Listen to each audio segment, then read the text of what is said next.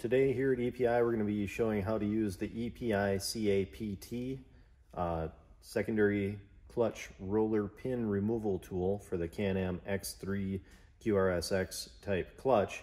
Uh, this is the EPI CAPT tool, and you'll see it's got a tiny little pin with the threaded rod.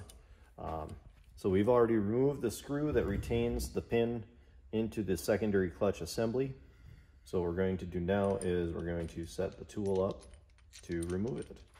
Uh, we're going to start with the pin inserted into the tool. We're going to slide the tool on so that it makes contact and then carefully thread the pin into the pin. So once it threads in and seats, you don't have to get crazy torquing this thing in there. It's just got to be enough to hold it and pull the pin. So Get that set, the tool's still loose. We're gonna go ahead and tighten up the thumb screws that hold the tool against the sheave of the clutch. So we've got the nut and the bolt here. We're gonna go ahead and finger snug this up. I'm gonna take the uh, three quarter or 19 mil ratcheting type wrench and we're gonna use that on the nut that is actually doing the pulling work. And we're gonna hold the other portion, the bolt portion that's holding the tiny pin uh, in place stationary so that it's not trying to torque that pin. So at this point, we're ready to uh, pull the pin, but we're gonna want to heat up the aluminum so that we can make the pin come out easier without trying to break things. Uh, the pin does press into the inner ring and the exterior ring, so we're gonna go ahead and heat up just those areas as much as we can without heating up everything else.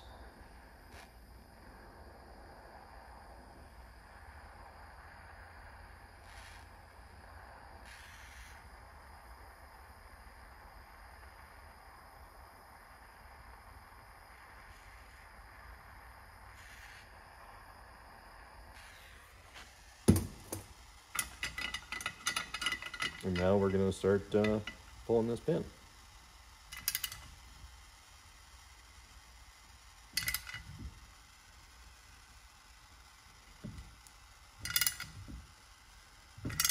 It's important to maintain the pressure on the other wrench to keep that bolt from turning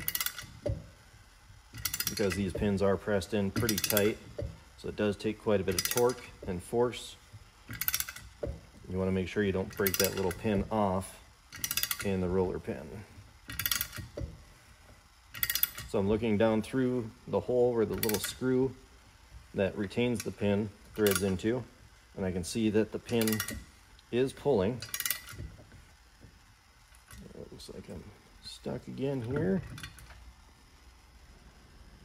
So I'm gonna go ahead and give it a little more heat.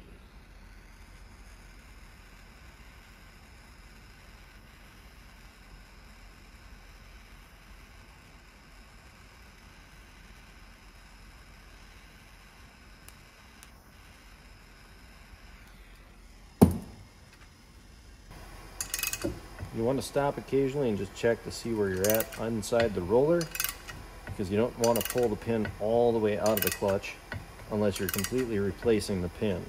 Say the pin got damaged, if your roller's broke and are hitting on the helix, getting some galling and some other weird stuff going on. Now as we get close to the finish here, you'll want to note that the washer is to the outside from the center of the clutch so that when you go to put this back together, you get the washer back in the right spot. So here we are, we've pulled the pin far enough out, we can get the roller out. And now we can back off the pressure on this nut to where it's loose. Loosen it up with your fingers. And go ahead and loosen up our clamps.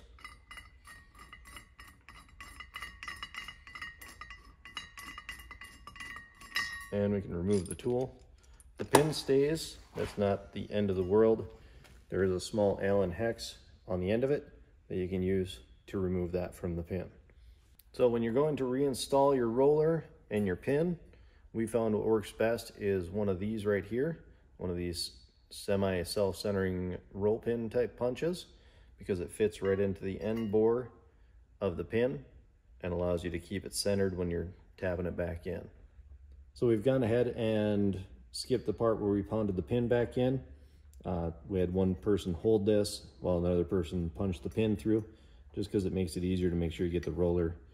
Um, one important note is you want to make sure you don't pound the pin too far because you'll blow out the backside of the clutch and possibly crack it and damage it. You just need enough space to where you can get the small screw threaded back in that retains that pin.